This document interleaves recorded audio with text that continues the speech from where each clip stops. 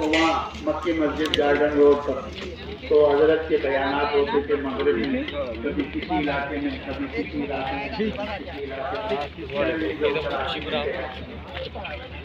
तो एक दफ़ा रहकर उनको लेके जा रहा था। असर की नमाज़ के बाद जहाँ उनका बयान तो गार्डन रोड से गुजर रहे थे तो वहाँ चिड़ियाघर में बहुत सारा बड़ी दीवार है तो है? है?